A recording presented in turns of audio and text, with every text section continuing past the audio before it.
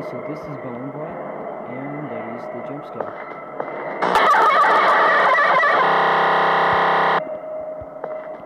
And